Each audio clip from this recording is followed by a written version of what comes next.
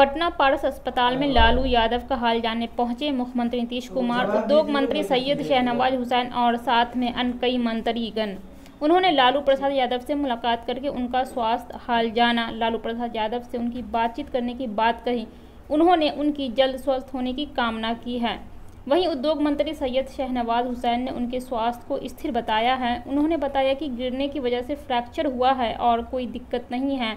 जल्द स्वस्थ होने की कामना करते हैं। थी। उसके बारे में समाचार पत्रों में खबर थी। और उसी दिन हमने इनसे बात करके बात कर लिया था। और फिर यहाँ लाना पड़ा और यहाँ के बारे में भी सारी जानकारी आपको हो रहा था। आज तो हम देखने भी आए हैं। पहले से स्थिति, पहले से स्थिति बेहतर है। लेकिन ये बहुत अच्छा चीज़ है एक बार दिल्ली में जा करके फिर सब टेस्ट करा लेंगे बहुत अच्छा होगा। तो आज दिल्ली जाएँगे और सब तरह का टेस्ट कराएँगे। और हम लोगों से ही भगवान से प्रार्थना है कि जल्दी से जल्दी पूरे तौर पर आपके पुराने मित्र हैं। हमारे तो बहुत पुराने सब आज के बने लोग अपना यंग एज से ही सब सरकारी खर्चे पर होगी सर। सरकारी खर्चा भी करेगी तो तो करेगी ही वो तो उनका अधिकार है ना। उनका तो अधिकार है, वो सब कुछ सरकार करेगी, उसमें कोई दिक्कत नहीं है। वो तो किया हुआ पहले से बना हुआ नियम ही है, उसमें कोई दिक्कत नहीं है। वो सब तो होगा ही, लेकिन जल्दी से जल्दी स्वस्थ हो, यही हम लोगों की कामना है। और मुझको पूरा भरोसा है। बिल्कुल मैं गया था, लालू जी का कुशल क्षेम पूछा। अभी वो अच्छे हैं, और बातचीत की उन्होंने। और माइक को हटा के भी एक मिनट बातचीत हुई। बहुत दिनों बाद मुलाकात हुई थी। हमने उनको जल्द स्वस्थ हो इसकी कामना की और उम्मीद करते हैं कि वो जल्द स्वस्थ होंगे। वरिष्ठ नेता हैं पुराना संबंध है।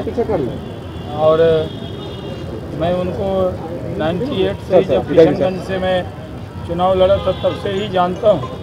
और हमारे बुज़ुर्ग हैं तो हम उनसे जाके मिल के उनका हलचल पूछा था और दुआ करता हूँ कि वो स्वस्थ सर सर, अभी सर पहले दो दिन में और अब में कितना सुधार हुआ सर? कुछ जानकारी काफ़ी कोई दिक्कत नहीं है।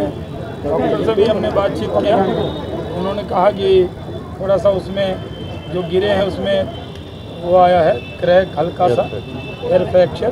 इसलिए जल्दी स्वस्थ होंगे। ऐसी कामना करता हूँ। राजनीति अलग चीज़ है लेकिन व्यक्तिगत तौर पर एक दूसरे का कुशल क्षेम पूछते हैं। प्रधानमंत्री जी ने भी फ़ोन करके उनका हालचाल पूछा।